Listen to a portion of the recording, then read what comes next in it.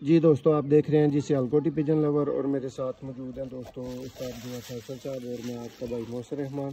दोस्तों, इस वीडियो में जी भाइयों को जो एम की वैक्सीनेशन है, उसका तरीका मियाँ साहब बताएँगे।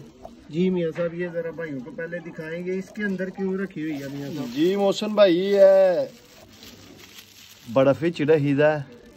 ਠੰਡਾ ਰਵੇ। ਜੀ। ਆ ਬਰਫ਼ ਤੋਂ ਬਗੈਰ ਨਹੀਂ ਲਿਆਈਦਾ। ਆ ਦੇਖੋ ਹਲੇ ਹੁਣ ਅਸੀਂ ਲੈ ਕੇ ਆਏ ਆ ਬਰਫ਼ ਵਿੱਚ। ਜੀ ਜੀ।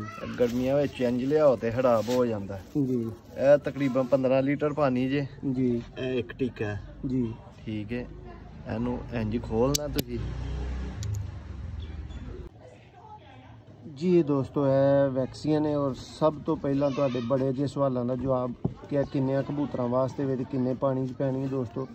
ਫੋਕਸ ਹੀ ਉਹ ਚੀਜ਼ ਹੋ ਰਹੀ ਹੈ ਕਿ 1000 ਕਬੂਤਰ ਦੀ ਦੋਸਤੋ ਇਹਦੇ ਵਿੱਚ ਡੋਜ਼ ਮੌਜੂਦ ਹੈ ਔਰ ਤੁਸੀਂ ਇਹਨੂੰ ਤੁਹਾਡਾ ਦਿਲ ਮੰਨੇ ਤੇ ਮਨ ਪਾਣੀ 'ਚ ਵੀ ਪਾ ਸਕਦੇ ਹੋ। ਦੋ ਮਨ 'ਚ ਵੀ ਬੇਸ਼ੱਕ ਪਾ ਸਕਦੇ ਹੋ। ਔਰ ਇਹਦੇ 'ਚ ਦੋਸਤੋ ਲਾਈਵ ਜਰਾਸੀਮ ਹੁੰਦੇ ਨੇ ਰਾਣੀ ਖੇਤ ਦੇ ਯਾਨੀ ਨਿਊਕੈਸਲ ਡਿਜ਼ੀਜ਼ ਦੇ। ਜੀ ਮੀਆਂ ਸਾਹਿਬ ਇਹਨੂੰ ਜ਼ਰਾ ਪਾਓ ਇਹਦੇ ਵਿੱਚ। ਇਹ ਦੇਖੋ ਜੀ ਇਹਨੂੰ ਹੀ ਓਪਨ ਕਰਨਾ ਪਾਣੀ ਦੇ ਕੋਲ। ਇਹ ਵਿੱਚ ਇਹਦੇ ਟਿੱਕੀ ਹੁੰਦੀ ਹੈ। ਜੀ, ਇਹ। ਦੇਖੋ ਇਹਨੂੰ ਨਾਲ ਹੀ ਇੰਜ ਡਬੋ ਖੜਨਾ ਠੀਕ ਹੈ। ਜੀ ਜੀ। ਹੁਣ ਇਹਦੇ ਅੰਦਰ ਹੱਥ ਮਾਰ ਦੋ। ਜੀ। ਇੰਜ ਤੇ ਇਹ ਹੁਣ ਛਾਵੇਂ ਪਲਾਨਾ ਇਹਦਾ ਟਾਈਮ ਜਿਹੜਾ 2 ਘੰਟੇ ਨੇ ਸਿਰਫ ਜੀ। ਛਾਵੇਂ ਰੱਖ ਦੇਣਾ ਪਹਿਲੋਂ ਦਾਣਾ ਦੂਨਾ ਪਾ ਲੈਣਾ ਪਰਿੰਦਿਆਂ ਨੂੰ ਆਹੀ ਪਾ ਲਿਆ ਵਾ। ਜੀ। ਹੁਣ ਅੱਗੇ ਪਾਣੀ ਰੱਖਣਾ ਆਹੀ ਤਕਰੀਬਨ ਘੰਟੇ ਬਾਅਦ ਚੁੱਕ ਲੈਣਾ।